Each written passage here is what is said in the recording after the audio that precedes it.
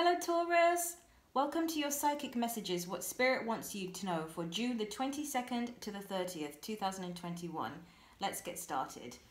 So, as you can see, the cards have already come out for you. I shuffled before filming so that we can get straight into the reading. Let's take a look. The first card you've got is the Hierophant in reverse. Uh, as I'm holding this card, I'm getting the sense of, um, and I'm hearing uh, breaking away from an agreement, breaking away from a contract. Um, I'm hearing setting yourself free, uh, unchaining yourself um, uh, un, uh, without restriction. Without restriction.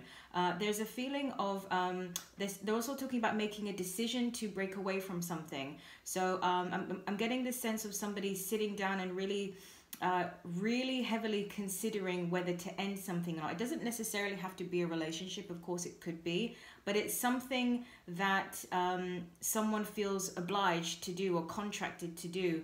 Um, there's okay. They're also saying that something something has worn off or worn out. Um, maybe it's that you you've gotten whatever you could get out of the experience, and it's time to move on. It's time to uh, move on to new things. Um, it's it's old old energy now. Um, there's a okay. There also I'm also getting a sense of weariness. That's what I'm hearing as well. Weariness. So uh, and they're they're also saying that this is overdue, long overdue. They're giving me the image of somebody who's just very tired and sort of um, a little a little bit sort of in despair even just somebody who's weary that's that's the best word weary uh, because um, somebody still feels like they have to stay in something or stay associated uh, or with someone something uh, when really how they feel deep down is that they're just tired and they just want to move on from something. Um, spirit is saying um, set yourself free set yourself free. Um, they're saying that um, make sure that if you make the decision to set yourself free from something, that you do it in the right way. You take the, the right steps, the appropriate steps.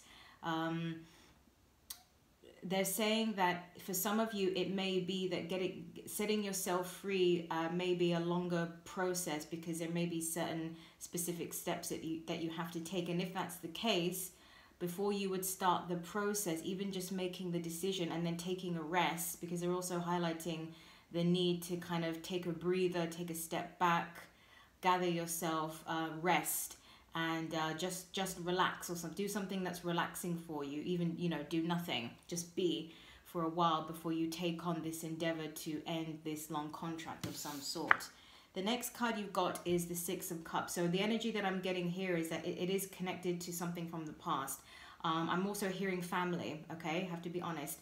Something about family, something. I'm also hearing the word associations. So, um, old contracts, old people. So, it could be somebody that you've known for a really long time. Uh, again, there's the feeling of obligation, right? So, it's like, I've known this person for a long time. Um, we have a long history together. You know, this person has been good to me and so on. And so I feel bad um, not being able to be there anymore. Um, I'm also hearing that somebody may be backing out or bowing out of something. So maybe you had a, a an agreement or an arrangement with someone that you've known for a long time, but um, you've had a change of heart and you've decided that it's not the best route for you to take. So um, yeah, there's a feeling of bowing out, backing out from something, uh, someone changing their mind. Uh, someone not wanting to go ahead. Um, it, it, I'm also getting like a trip. Maybe there was a trip that was planned.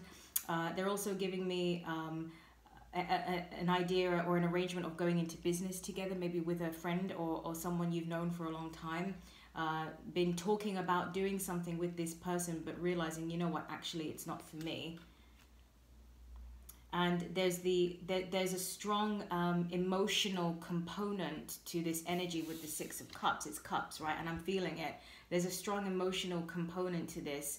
Uh, this is somebody or something that you care deeply about. This is uh, somebody or something that you have an attachment to, and I mean healthy attachment to, and uh, you care. You care about this a lot. So it's not it's not easy to walk away. And I just heard you you've built something with this person or with this thing as well.